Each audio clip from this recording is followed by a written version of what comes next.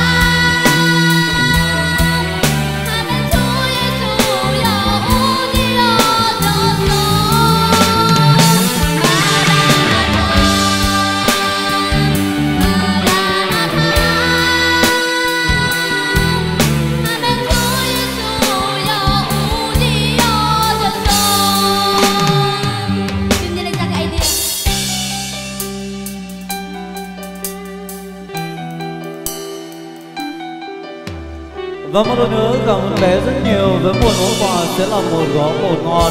Nhưng kính thưa quý vị đừng quên lời khen Chúa cùng với bé với chàng vỗ tay tất nhiên quý vị được không nào?